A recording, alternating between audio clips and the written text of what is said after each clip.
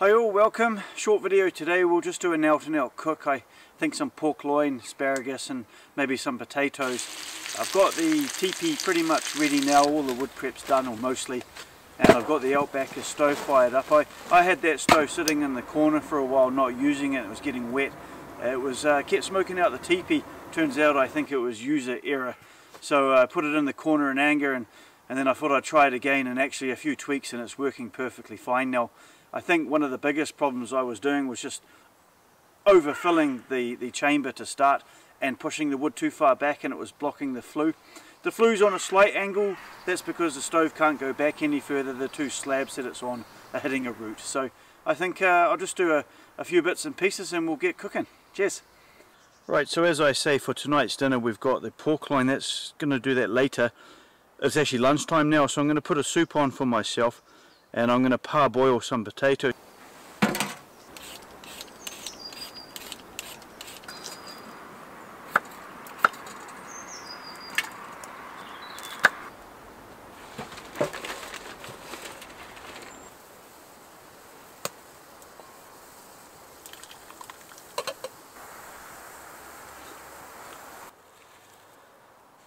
Still a couple of hours until I'm going to cook but I'm just going to take off some of the sinew here. It can be quite chewy just to take it off.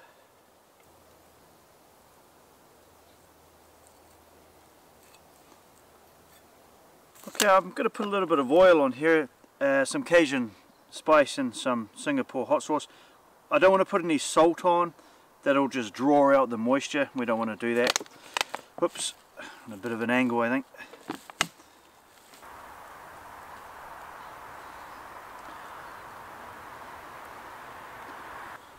Singapore chili sauce actually, that's what it's called.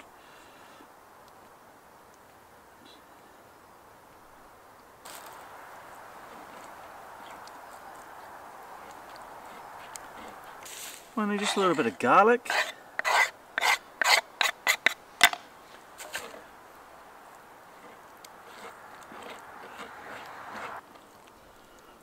Alright, we'll leave that for a few hours and see how we go.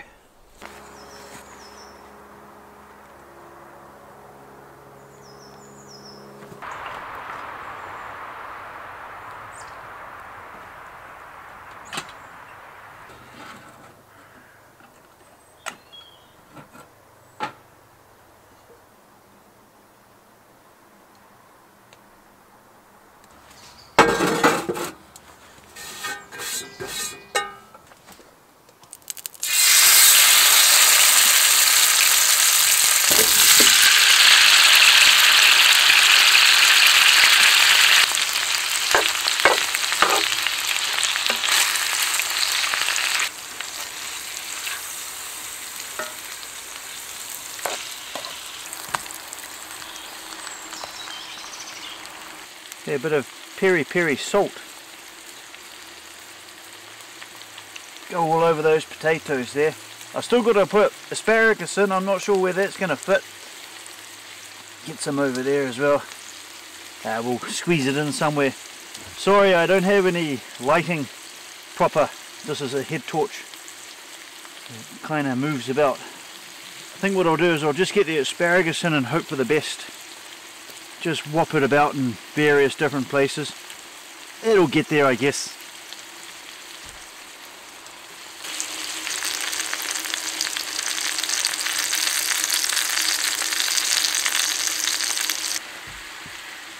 Right, I've just put a little bit of butter in there. I find with the Outbacker, it just puts out a heat. That's it, you know, I can't really, I can put a little bit more wood in, might get a little bit hotter, but it just sort of emits this kind of heat. If I open up the door I might get a flame, I can make it a bit hotter. One pan cooking I'm starting to really like as well. This is pork loin so it's really one of the more cheaper cuts of meat now in the supermarket. There's no fat in it, which is probably something I need, but then I've gone and put all this butter in. It'll fry off.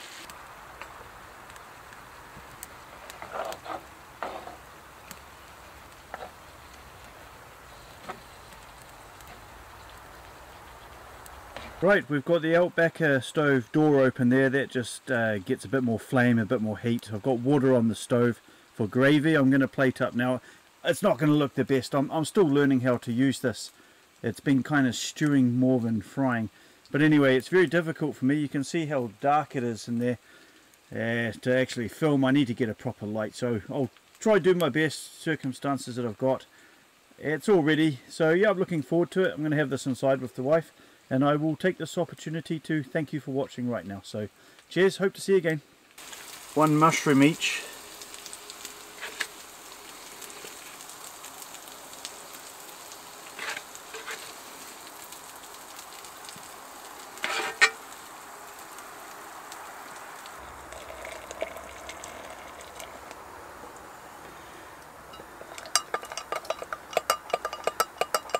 Okay, we'll cut up this pork loin should be perfectly fine, nice and cooked. Pork can go dry, that's why I put the butter in there a wee bit. A little bit of moisture retention. It's cooked fine. Looks nice actually.